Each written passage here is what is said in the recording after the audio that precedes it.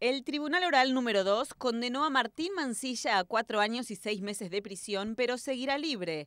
Mancilla fue encontrado culpable del delito de homicidio preterintencional. El acusado continuará libre hasta que la sentencia del tribunal integrado por los jueces Néstor Conti, Alejandro Simas y Roberto Falcone quede firme. El fiscal Alejandro Pellegrinelli había solicitado que el imputado fuera condenado a 11 años de prisión. El defensor César Cibo consideró que su cliente debía ser sentenciado por haberle causado a Arriagada lesiones leves o en su defecto lesiones graves. Para el caso de que los magistrados no consideraran esas figuras, había solicitado que sea juzgado por el delito de homicidio preterintencional. El caso, recordamos, ocurrió en agosto del 2014 cuando el herrero de Santa Clara arrolló a un perro mientras conducía su camioneta de trabajo por el cruce de Carlos Tejedor y Ferré. Pese a que descendió para comprobar lo sucedido y pidió disculpas, fue increpado duramente por Martín Mancilla, quien segundos después le propinó un golpe.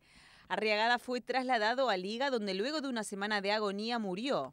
Los familiares de Tito Arriagada se mostraron disconformes con la condena.